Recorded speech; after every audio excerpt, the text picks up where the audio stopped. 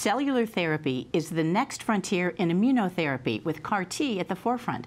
Dr. Nathan Denlinger is here to tell us what it is and how research is moving it forward. Chimeric antigen receptor therapy, CAR T for short. It's actually a process whereby we use your own immune system to target and eradicate cancer. We actually take your immune system cells and we engineer them and target them to fight that patient's cancer that's hiding from the immune system. There is no routine cancer here at the James. So what we do is take your own cells manufactured directly for you and your cancer. We make these CAR T cells in as few as six days and then can infuse them back into the patient, significantly cutting down on time to treatment and really improving outcomes for all patients. It started with leukemia, but we're actually working on multiple other uh, types of diseases as well, including solid tumors such as melanoma, lung, breast cancer. Using the power of the immune system is here to stay.